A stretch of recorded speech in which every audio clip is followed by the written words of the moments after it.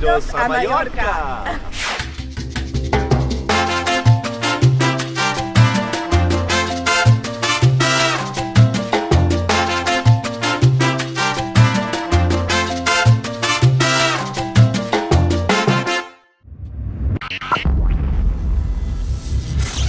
Hallo und herzlich willkommen hier aus Mallorca, dem Ort, an dem das Gaming Institute noch bis zum 11. Mai seine Zelte für das Pokercamp aufgeschlagen hat. Und wir wollen euch zu Hause gebliebenen natürlich nicht vorenthalten, was ihr so verpasst.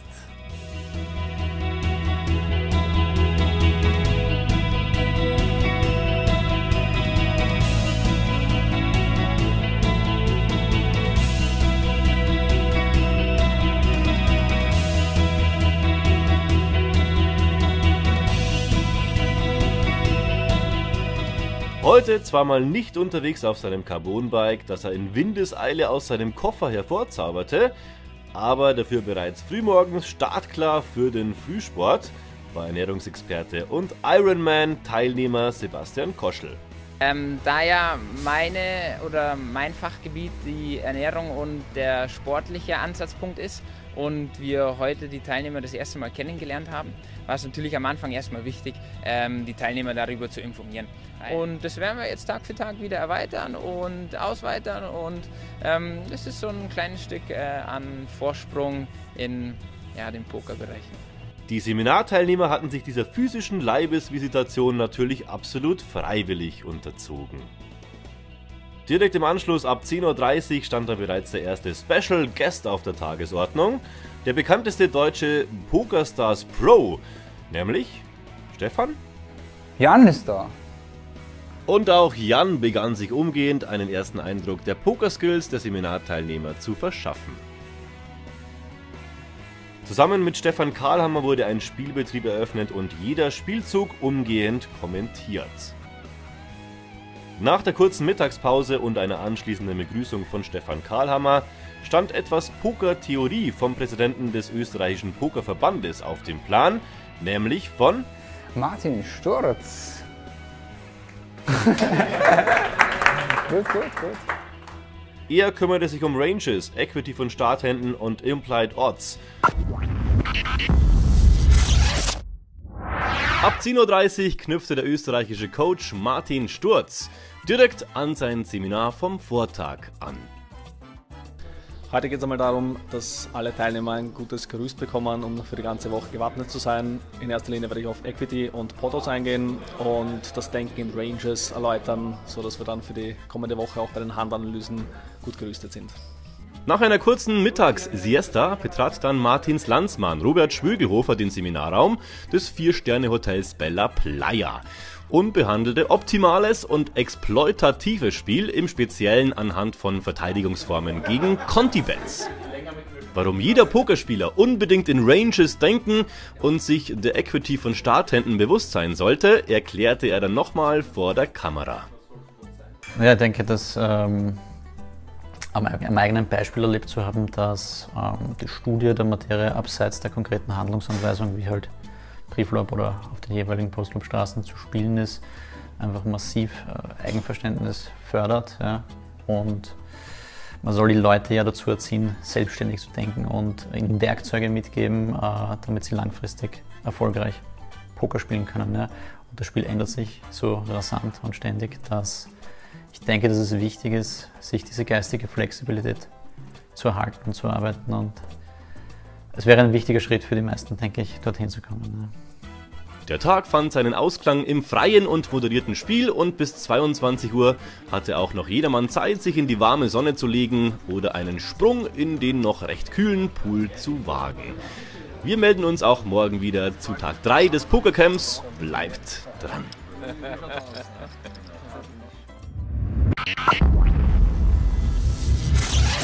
Hallo zurück aus Mallorca, heute zu Tag Nummer 3 zur Wochenmitte des GI Poker Camps und heute stand ein Ausflug auf eine Finca an. Bevor das aber losging, war noch etwas Poker-Theorie angesagt. Den Anfang machte erneut Martin Sturz. Sein Hauptaugenmerk lag heute auf der Wichtigkeit des Bluffens, auf Expected Value und 3-Bet Ranges sowie Race Sizings. Die Mittagszeit verbrachten die Teilnehmer zusammen mit dem Sportfreak und Ernährungsexperten Sebastian Koschel. Durch dessen Fitnessstunden soll das Sitzfleisch der Teilnehmer bestmöglich trainiert werden. Noch haben sie aber alle gut lachen. Um halb vier stand ein kollektiver Ausflug zu einer Finca nahe Calaratiada an. Ein wenig Entspannung, wie GI-Organisator Mike König betonte. Nach den vielen, vielen theoretischen Einheiten, die die Köpfe der Teilnehmer ganz schön zum Rauchen gebracht haben, haben wir uns heute gedacht, wir bringen mal etwas Entspannung in die ganze Sache und sind alle zusammen auf eine Landfinca gefahren. Ähm, Schwerpunkt heute Grillen, Chillen und natürlich auch Spielen, denn äh, wir sind in einem Pokercamp und äh, es wird schwierig, den Teilnehmern beizubringen, dass sie hier nicht spielen können. Folglich wird es natürlich auch ein Sit and Go oder das ein oder andere Game geben. Aber in erster Linie sind wir hier, um uns ein, äh, ein bisschen zu erholen und auf den zweiten Teil der Woche vorzubereiten, in dem noch jede Menge Theorie auf die Teilnehmer wartet. Bis zum Abend wurde hier gemeinsam gespielt, analysiert und gelacht. Ein netter Ausgleich zur geballten Ladung Theorie, die auch morgen zu Tag 4 wieder folgen wird. Bis dann.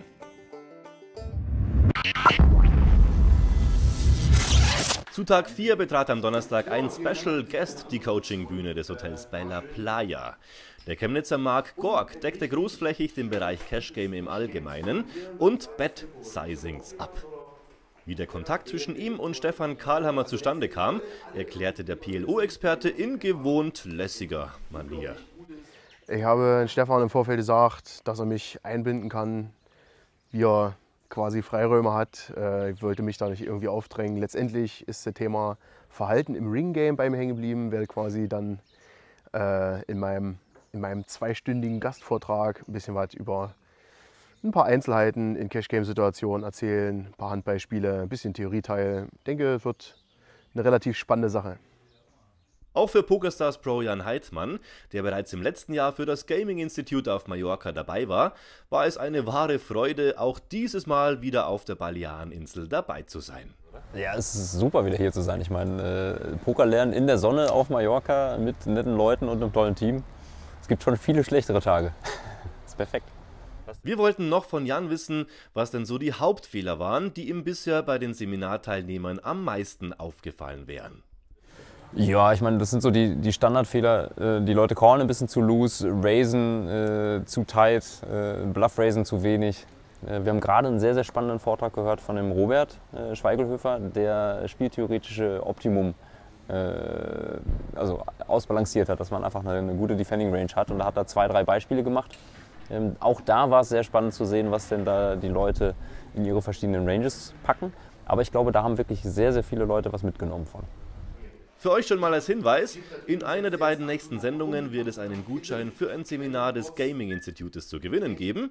Außerdem gibt es unter gamblerstore.de in der Sparte Gaming Institute einen Online-Shop mit verschiedenen Artikeln wie GI-Hoodies oder T-Shirts.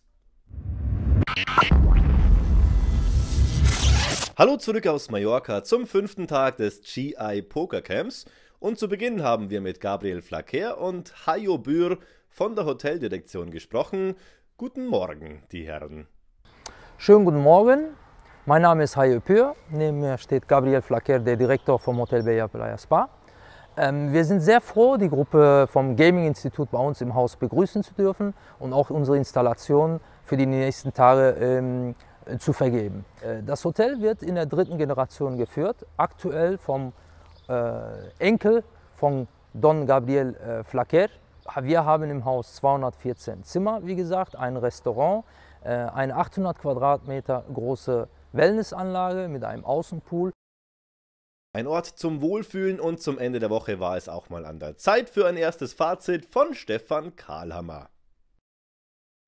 Also was mir total in den Sinn kommt, ist Zufriedenheit. Wir haben da jetzt ein Jahr lang hingearbeitet, um die Premiere aus dem letzten Jahr zu toppen und das ist uns ja, einfach nur absolut zufriedenstellend gelungen. Äh, es ist immer schön, wenn, wenn ein Plan aufgeht. Und auch die Teilnehmer teilten diese Meinung. Also mir gefällt sehr gut, die Inhalte sind sehr anspruchsvoll. Ähm, das Ganze aber in so einem familiären äh, Rahmen. Ich muss sagen, also ich nehme wirklich sehr viel mit. Hat mir sehr gut gefallen. Ähm, also mir gefällt es sehr, sehr gut und ähm, ich meine, ich spiele zwar schon sehr lange Poker, aber man sieht an, an so einem einwöchigen Seminar, dass man trotzdem immer noch wieder eigentlich dazulernen kann. Also es ist schon eine super Sache hier. Ja, wie ihr sehen könnt, wir haben es ja wirklich wunderschön auf Mallorca. Und wenn auch ihr mal Interesse habt, ein GI-Seminar zu belegen, an einem teilzunehmen, wir verlosen heute einen 99-Euro-Gutschein für ein GI Basic-Seminar. Alles, was ihr tun müsst, ist eine Frage richtig zu beantworten und die stellt euch jetzt Jan Heitzmann. Und zwar, um welchen Standort wird das Gaming Institute Coaching Programm demnächst erweitert? Ist das A. Atlantic City oder B. Macau? Schreibt uns einfach euren Namen, eure Adresse und natürlich die richtige Lösung an office.karlhammer.de. Der morgige Samstag stellt gleichzeitig den Abschlusstag des GI Poker Camps auf Mallorca dar mit einem Abschlussturnier und was euch sonst noch so erwarten wird, Stefan Karlhammer gibt einen kurzen Ausblick. Ja, also ich glaube, dass das ganz spannend wird, weil sich so eine richtige Gemeinschaft äh, auch gebildet hat. Äh, Coaches, äh, Kunden, äh, Kartengeber, das ist alles irgendwie so mm, fast ein fließender Übergang. Und morgen tritt nochmal alles mit und gegeneinander an. Das wird richtig spannend. Ich freue mich drauf. Also ganz stark ist, dass wir für nächstes Jahr einfach nichts neu planen müssen. Wir machen es ganz genauso wieder wie dieses Jahr, weil es einfach gut war.